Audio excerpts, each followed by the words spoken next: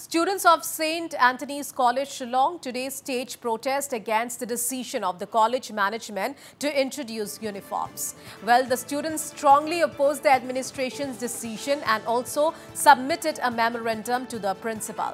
However, the principal said it is the decision of the management. In a notice recently, the college said that it would be mandatory for all first and third semester students to wear the college uniform upon returning to the college premises starting from February 20, 2024.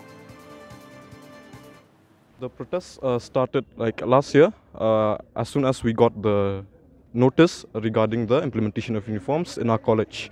So uh, immediately uh, as soon as the notice was out, uh, we all uh, created a group to voice our to voice our concerns regarding this. So that's how it all started, and it reached to the point where all this is happening today because at first uh, we tried to have a meeting with the principal, only the students and principal, but like uh, it was not possible since uh, the college was under holidays was it was during holidays so it was not possible. And most of the time when we tried to meet the principal he was either out of station and the last time we were able to meet the vice principal father joby but like uh, he was also like dodging many questions and like we didn't get a we didn't come to a a reasonable solution. So that's why we had to do what we had to do today, which is to assemble some students to like voice our concerns regarding uh, the issue.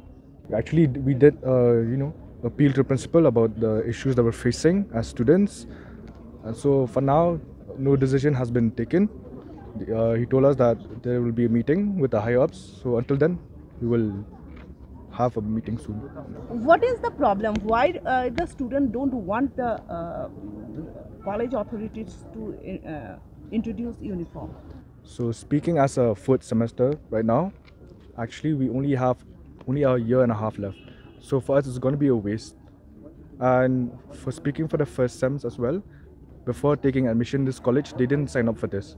So it was a decision taken mid-year or right after admissions. So for that, that is not fair. We are gathering here to protest against the uniform but uh, this is not our total strength because mostly uh, most of the students are still outstation okay? They are in the villages and everything so they are not here in Shillong so they can't come today. Our protest is mainly to like uh, go against the uniform because it, uh, it's just so sudden and we are having only one year left. We are in the fourth semesters now so one year left and the uniform is suddenly implemented. And if the college authority if they want to implement uniform they can do so by the next batch maybe during the time of admission keeping in writing in the admission form like if they want uh, to implement the uniform give a writing so whoever have seen that if they still come to the college they will come with their own consent of wearing uniform. What's next? Next uh, we haven't had any plan for that but uh, for now we'll just stick like this. We won't wear the uniform if the college starts and the principal or the authority haven't given any reply to what we have uh, asked them. Then we will not wear the uniform and we have requested him also not to take any actions but to that also he has the same answer. Said he will ask the higher authorities